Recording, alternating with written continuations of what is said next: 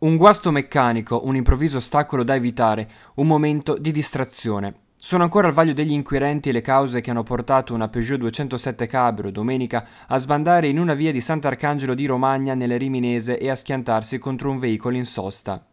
Era da poco passata l'ora di pranzo in via De Gasperi, in un quartiere residenziale a ridosso della stazione, quando l'auto a due posti con a bordo un uomo e una donna è improvvisamente uscita dalla careggiata per centrare in pieno una delle automobili parcheggiate a spina di pesce di fronte ai condomini.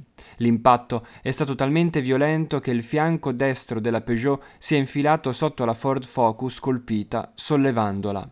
Per questo a riportare le ferite più gravi è stata la donna seduta sul lato passeggero, quello dell'impatto. Per liberare la donna dalle lamiere è stato richiesto l'intervento dei vigili del fuoco. Data la gravità delle sue condizioni, la ferita è stata trasportata con la massima urgenza al Bufalini di Cesena tramite eliambulanza. Ferite meno gravi per il guidatore che è stato invece accompagnato in ambulanza agli infermi di Rimini.